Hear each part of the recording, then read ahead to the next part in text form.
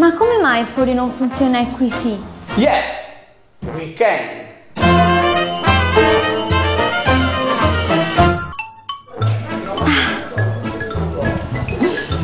Yeah!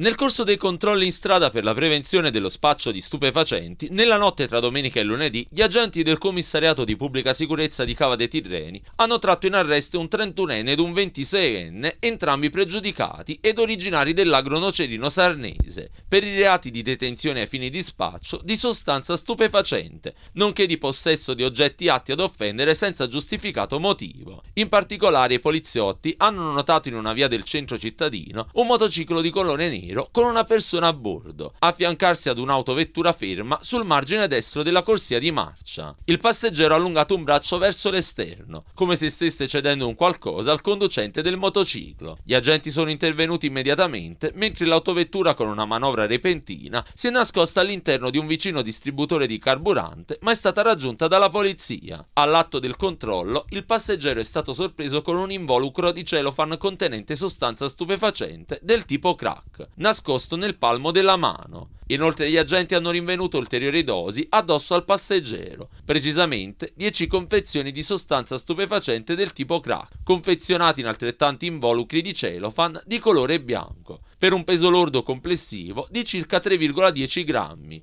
e la somma di denaro di 155 euro, suddivisa in banconote di piccolo taglio. Indosso al conducente, la pattuglia della volante del commissariato di Cava ha anche rinvenuto e sequestrato un coltello a seghetto con punta acuminata della lunghezza totale di 23 cm e di lama di 12 cm.